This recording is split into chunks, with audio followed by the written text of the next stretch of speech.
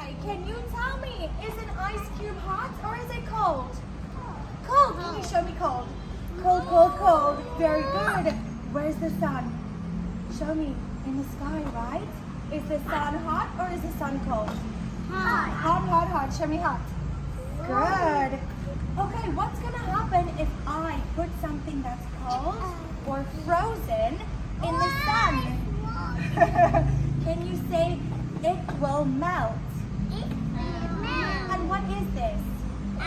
Ice. Very good. Can you say the ice will melt? The ice will melt. Very, very good. Okay, so what we're gonna do is take, what is this? Spoon. Very good. How many spoons do I have? One, two, three spoons. Hudson, can you please help me put the red ice cube on the paper? Good job. Can you put it here? Go. Very good. Thank you. Can you put the spoon in the bowl? Okay, very good.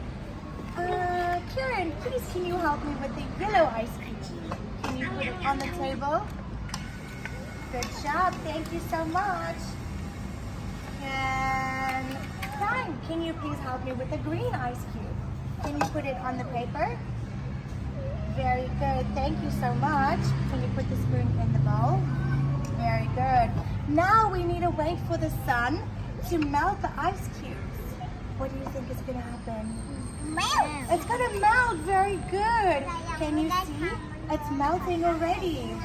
All the colors are going to go together. Is that very cool? Okay. And let's count how many ice cubes we have. Can we count together? One, One, two, three. We have three ice cubes. What colors? Can you tell me what color is this one? And this one? Green. Very good. Show me your hand if you like red.